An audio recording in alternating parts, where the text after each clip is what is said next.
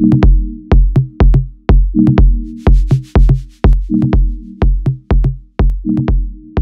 I quit my nine to five, I wish I had someone to talk to. I wish I had someone to relate to to get me through that hiccup. Because it was when I decided to quit my job it was very hard. I didn't know if that's something that I wanted to go through with. No one else that I knew or were related to had you know just quit their job and took this huge leap of faith you know that was actually an adult that had adult biz adult bills had car notes rent things like that so I was nervous especially because I didn't have this huge savings. I didn't have this huge income to live off of when I did decide to quit my job. So I was like scared. so I'm here to let you guys know my thoughts and my opinions on when you should quit your nine to five. Before we start, I do have a webinar coming up March 3rd and it's all about, yikes, it's all about how to start a hair company. You get a vendor included. You actually get one of my allure 96 vendors.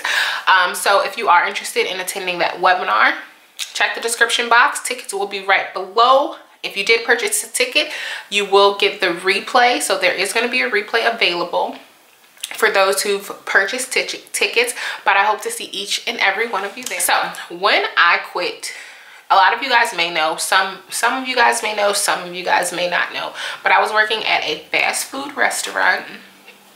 I was a general manager. I was working mad hours like i was working crazy crazy hours every week i was a gm so i had to deal with it was my store basically. So anything that went wrong it was on me. If someone didn't show up it was on me. I had to go work additional shifts that were out of my schedule. If someone else didn't show up like it was just a lot. And I was so done. I was so over it. I was tired of it. Didn't want to do it. And one day came and I was just like I'm done but before we get to that point uh, if you are in a situation where you're just tired and you're over it and you're over your bosses and you're over your superiors um, and you don't want anyone talking down on you anymore or you personally feel like your corporate America job is hindering you from being even more successful or hindering you from making even more money, you want to listen to this information, okay? So, I want to be clear on something. There's never a right time to quit your job. You're never going to have enough savings. You're never going to have enough support. You're never going to just wake up and it's just going to be this special day and on this special day you just quit your job. That is not how it works. When you quit your job, it's all psychological. And the reason I say that is because when you do quit your job, especially, especially, especially if you have a family to feed, your job's giving you health benefits, you really want to think about it. You really want to make sure you're mentally prepared to leave this situation, to try and start something new. And another thing, when you do decide to leave your nine to five job, you need to have a plan. I would never say to anyone, open up a business, a month into opening up your business, just quit your job. No, you need to be able to somehow guarantee that your business will be able to support you. When I quit my job, Allure 96 wasn't booming how it is now. Now it's booming because I can put the energy and I can put the time behind it. Now I can pay all of my bills, live comfortably because I'm I, am able to put all of this time behind it. At first I was not able to. I was able to put maybe a few hours a day into my business, but two and three hours here and there is not gonna cut it. It's not going to boost your business to this $100,000 business if you're just putting two or three hours a day into it. When you are a business owner and you legit live off of the money that you make for your business, this is an all day job. Now, cool thing about it is when you do work for yourself, you can choose your schedule. If I don't want to work a certain day, I don't have to. But if I don't work, I don't make money. So just keep that in mind. So when you do decide to quit, it's not all peaches and cream, but when you do decide to quit, you need to make sure that your business can elevate you. Another way you can determine when it's time to quit your nine to five job is when you're tired. And that sounds really crazy, but when you're so over something and you're so tired of something and it's not making you happy anymore, it's time to let that situation go.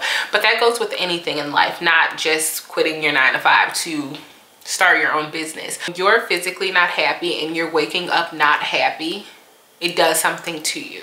It, it does something to your brain. It does something to you. Psychologically, it does something to you. So when that situation does happen, it's you as an adult, you have to make that decision. Is this, will I still be okay if I leave this job?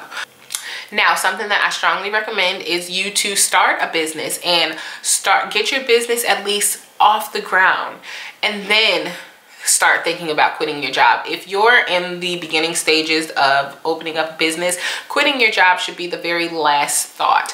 And the reason I say that is because right now you don't even have enough income to support extracurriculum stuff in your life.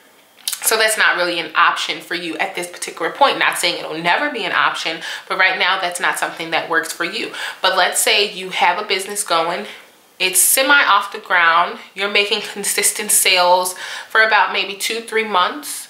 That's on the low end. Then I would say start the thought process of quitting. Start the thought process of what would this be like if I did this 24 7? 365 days out the year. What would this be like? That's when you can start thinking like that. But once you're tired of your nine to five job that's when you would put the the fire underneath your ass to do what you have to do. As far as busting your ass at a nine to five job and then striving for greatness with your own personal business part-time. Something that hindered me i probably would have quit sooner if it wasn't for my mother.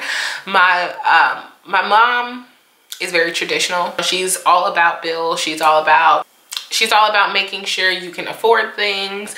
Don't do something if you're going to regret it things like that. So every time i even gave the thought uh gave her my thoughts on quitting my job she kind of like shut me down which made me procrastinate on quitting my job. But one day i couldn't take it anymore and i was just i told my superior or my higher up that i was just done and i called her. I cried and i said i'm done. So when you do get to that point and your business is a little off the ground it's you're making some consistent sales that can get you by you have a little bit of savings don't tell anyone what you're to do. Tell everyone that you're going on a little vacation. That's something that i kind of done kind of did before i quit. A lot of you guys may not know but december of 2017 i had a major surgery so i took a full month off of work and because I wasn't smart and I didn't save my vacation days, the paid vacation days, I only got paid for a week out of that month. So that other two and a half, three weeks, I didn't receive a check or any form of benefits. So for me, that was kind of like a mini trial because I was able to live comfortably. I was fine after surgery. Um, I didn't miss that check that I missed. I remember going back to work I dreaded it. I cried going back to work. and then three months later, that's when I made the decision that I wanted to quit. So I bet the biggest question you guys probably have is, did you have money saved up? Like, where, like, how did you pay your rent? you know, like questions like that. And yes, I had down once I started my business, I opened up a savings and I did have money saved in my account. Now, when through studies and through the studies that I have researched, they the studies say before you quit your job, you need to at least have, have six months of your rent, of your car note, all that stuff in your savings, which I agree to a certain extent. If you are weary about your business and you don't really know if it's going to thrive or fail, save that money but if you are confident in your business and you have some savings but it's probably not exactly where you want it to be I would say take that leap of faith. If it wasn't for me taking my leap of faith for my business, I would still be miserable. I would still be a GM and I would probably like be exhausted and just tired every day and hate waking up and going to work because that's the point that it was coming to. But before it got all the way to that point that's when i just removed myself out of the situation and focused on what i wanted to focus on and what i personally feel like was my is my purpose here. So yes save as much as you could. So if you like i said if your business is off the ground and this is a thought process that you're currently having, start saving now. All the money that you make, just throw it in your savings and leave it and don't touch it. So when you wake up that day and you're like, I can't deal with this anymore. I can't deal with this boss anymore. I can't make it to work anymore. A lot of a lot of people think that these jobs is your are your holy grail when that is not true many many people lose their jobs every single day. Many people get laid off every single day without a warning without a notice. So stop putting all of your eggs inside of the baskets of these jobs because these jobs and honestly can die out any single second of every single day. So don't look at your job as your lifeline or your life support. Yes that's how you're currently making money but no that's probably not how you're forever going to be making money. But it's up to you to have that faith to believe that you you can reach for the stars and go for it. But I don't want to talk you guys' ears off too long. This was just like a nice little chit chat that I enjoyed having with you guys. But yes i love each and all each and every one of you from the bottom of my heart. If you guys do need to chat about something you're more than welcome to shoot me an email. And also, I hope to see many of you guys at the webinar March 3rd. I love each and every one of you, and I'll see you guys later. Bye.